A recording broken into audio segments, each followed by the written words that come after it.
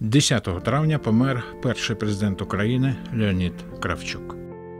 Є три вислови, які пов'язують тільки з однією людиною в Україні Леонідом Кравчуком. Це кравчучки поміж крапельками дощу та маємо те, що маємо. Перший з них символізує матеріальну скруту диких 90-х, коли за президентства Кравчука після розпаду СРСР рівень життя в Україні різко погіршився. Другий вислов фраза з анекдоту про те, як він відмовився від парасольки у дощ. І яка характеризувала першого президента як людину, котра у найскрутніших ситуаціях знаходила для себе безпечну нішу та завжди залишала шляхи для тактичного відступу. Його за це тоді ще часто називали хитрим лисом. За іронією долі Леонід Кравчук через багато років називав свою найбільшою помилкою призначення Леоніда Кучми на посаду прем'єр-міністра України, з якої той потім пішов у президенти і змінив. Кравчука багато цитат Леоніда Кравчука ставали крилатими. Взагалі, як колишній ідеолог і пропагандист, він не ліз за словом у кишеню і був бажаним учасником політичних шоу та інтерв'ю.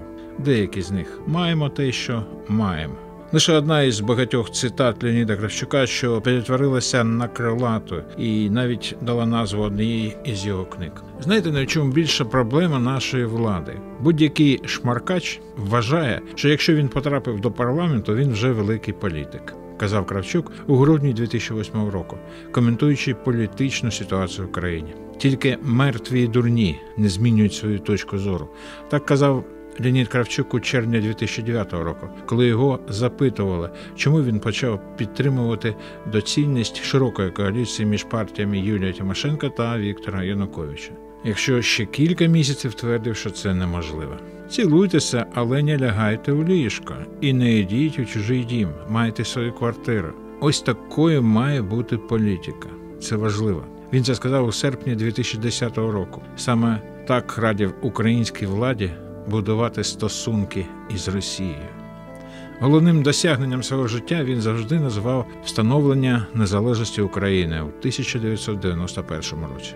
Ось як він говорив про це в інтерв'ю Голосу Америки в 2011-му. Я зробив для України все, щоб вона стала державою. Я через демократію, через всеукраїнський референдум, через налагодження стосунків у Європі, у світі, в тому числі з нашим непростим сусідом Росією, робив усе, щоб Україна стала і була, і буде. Тепер я можу це сказати незалежною державою. Це реальне досягнення, і це ніхто від мене не зможе забрати.